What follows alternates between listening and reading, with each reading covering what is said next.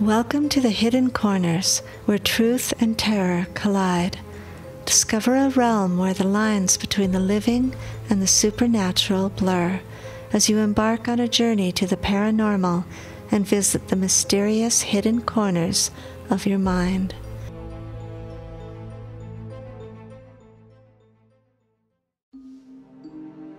Horror in the Mortuary, adapted from a story by Herbert Hipwell. Peter Stubbs has snow white hair, and he is only 28. He mutters to himself as he pursues his lowly task of sweeping the streets in our little university town. His eyes dart to and fro as if expecting to see something or someone coming at him. Peter once had raven black hair and was as strong a young fellow as ever led the town bullies in their frequent battles with our students. That was before the one night he spent as caretaker of our medical school mortuary. Only two of us know the real story of that night and why Peter was taken from the building the next morning, a gibbering and white haired idiot. We have remained silent for various and selfish reasons, but I can no longer keep to myself the story of that awful night. Our medical college is a lonely, ramshackle old building. The town has grown away from it. It is surrounded by musty old junkyards and infrequently used railway sidings, and it is miles from the fine old group of buildings which form the rest of the university. There has always been difficulty in getting a suitable caretaker for it. None of the many who have been employed by the university could be relied on to come early enough to get the fires going properly and to keep the walks clear of snow. Our new dean, Dr. Towney, thought he had solved the problem by deciding to have a caretaker live permanently on the premises. Peter Stubbs, on learning of this, applied for the post and had no difficulty in obtaining it. The dean showed him around the building and explained the duties required of him. A more imaginative man might have been a little chilled by the gaunt skeletons arranged in the cases of some of our classrooms. Certainly he would not have been pleased with the sleeping quarters picked out for him. The only room available was a small, closet like room directly connected to the mortuary. In fact, you had to walk through the large room with the marble slabs to get to that little sleeping room. Frequently, bodies would be there overnight, awaiting the purposes of the college, to be used by medical students in the study of forensics and physiology. Most persons would not welcome these as nighttime neighbors, but Peter scoffed and said he would just as soon sleep there as in a brightly lit hotel. Eric Channing and I were in the nearby room working on a term project and overheard the conversation between the dean and Peter. Both Eric and I had old scores to pay with Peter. His steel fist had left a blue circle around my eye for a week now, and Eric was minus a tooth as a result of a hot encounter between Peter's followers and us freshmen. Eric jumped at my brilliant proposal for a little taste of revenge. Are you game for a little ghost walking? I whispered to him as Peter and the dean left for another part of the building. Eric asked for details. It's the chance of a lifetime if we have the nerve, I declared. Let's sneak back into the building tonight, crawl onto a couple of slabs in the mortuary, and cover ourselves with sheets. We'll look enough like corpses to fool Peter if he looks in. Then, when Peter goes to bed and it gets good and lonely, we can come to life with a few gentle moans, get Peter aroused, and then do a little ghost dance for his benefit. After we have frightened him stiff, we can take off the sheets and give him the laugh. The story will get around quick enough, and poor old Peter won't be troubling us freshmen any more. Eric could scent trouble in the wild scheme, and he hastily began to offer objections. Peter knows there aren't any bodies in there now, Eric said. That's all right, I replied. In fact, I know there will be one there for certain. One of the inmates at the prison died today. I read that he was so mean and wild that they had to keep him locked up tight all the time. He had no family, so the body is coming here. Eric was still unconvinced, but had no plausible excuses. I felt my eye, which was still sore from Peter's bruising, and started to work out the details to my plan. I was right about the body. The undertaker's car drew up to the college just as we were leaving. We were the last students to go, and the dean was the only other person there. He asked our aid in bringing the massive body to the mortuary, and we helped roll the gurney into the building and left it there next to the cold marble slabs. Peter arrived from supper to begin his first night's stay, just as the dean and we were leaving. Later that evening, Eric and I met near the college about 10 o'clock, and we prepared to carry out our plan. My courage was beginning to wane. A sliver of a crescent moon was the only light around the dreary building, and every rustle of a leaf or disturbed pebble began to send shivers up my spine. But I couldn't turn back now. Silently, we pried open one of the loosely locked basement windows. Then we crept up the dark stairs and walked past the classrooms. The skeletons that hung in the classroom stood out like white patches in the murky darkness and added to the eerie adventure. We reached the mortuary room and groped our way in the darkness.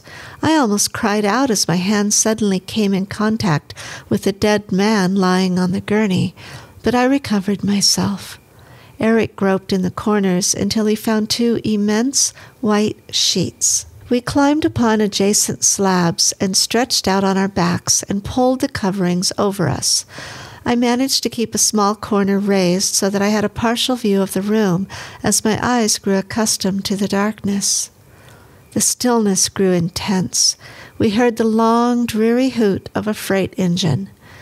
I shivered involuntarily and thought of the real corpse a few feet away. Footsteps echoed in the building, Peter was making a round of inspection before retiring. He switched on the lights in the mortuary and gave a little gasp of surprise at the three still, white figures lying there. He began to whistle a little tremulously in an attempt to take the edge off the quiet in the room and steady his nerves. Evidently, he was not feeling as bold as when he accepted his post. He quickly left and retired to his little room shutting the door behind him, and all went still again. Our plan was to wait until we were sure Peter was asleep and then begin our moaning. I began to see the folly in our little plan. What if Peter didn't think it funny? What if he became enraged and pounded us with his iron fists?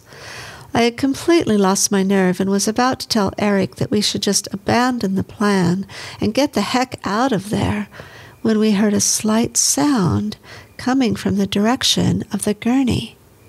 The sound turned me cold from head to foot. Horrified, I gazed through the small gap in my covering. I could not believe my eyes. The corpse of the maniac prisoner had moved. There came a faint rustle of his covering shroud, and the body moved again, ever so slightly. I wanted to shriek in terror, but I was paralyzed. Eric, who could not see out of his sheet at all, whispered to me, What is it? What's going Shh! I whispered under my breath with urgency. The shroud moved again, this time more noticeably. My scalp tightened, and I could feel the goose flesh rising all over my body. Then, with one sudden motion, the enormous man sat bolt upright and threw the shroud from him. He was clothed only in a long hospital nightgown. His thin hair stood up in tangled wisps, and his eyes blazed like those of a cat in a dark room. Slowly he surveyed his surroundings, and then burst into the most hideous laughter I have ever heard. His big yellow teeth seemed like the fangs of a wild animal. I could imagine them rending my flesh. Apparently, his death was only a ruse, either by himself or prison guards he had somehow paid off in order to fake his death. The echo of his hideous laugh had hardly died away when Peter burst from his room, wearing only his underwear. His knees almost gave way as he took in the dreadful scene. Horror was apparent in every line of his body, and I had an inexplicable desire to laugh. Quite calmly, the mad prisoner swung his legs down from the slab and sat there on its edge, transfixing poor Peter with his terrible gaze. He chuckled. Peter slowly backed toward his sleeping room. In an instant, the madman was at him. There commenced a wild chase around the room, of which I could only catch fleeting glimpses as they passed on one side of my slab, where my sheet was slightly opened. Eric and I were unable to make a move, both terrified beyond our wildest imagination.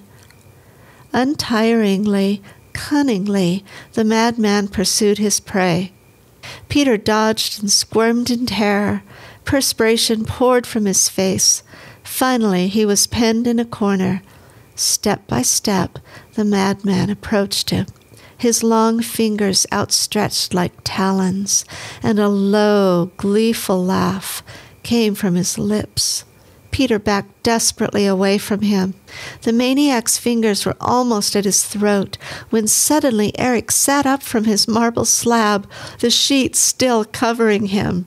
The diversion caused the madman to turn his head toward us, and Peter managed to push past the madman to the big oak door, the only door in that large room that led out to the corridor. The door swung open, and Peter tumbled from the room, his body bumping and thudding on the stairs outside as the door slammed shut. Startled by the sudden disappearance of his victim and Eric's body sitting up on the marble slab, the madman, his eyes now wilder than ever, swept the room and saw the open window. As quick as a flash, he leaped through the window and was gone. As quickly as we could, we ran from the mortuary all the way home. A widespread manhunt was underway for the escaped prisoner. We told no one about our night in the mortuary, but poor Peter never recovered from his fright. The terror of seeing the dead come to life and chase him around the room had turned all his hair white, and he was unable to utter an intelligible word. As for the escaped prisoner, they never did find him. And even now, I sometimes wake at night in a cold sweat and feel for the butt of the revolver under my pillow.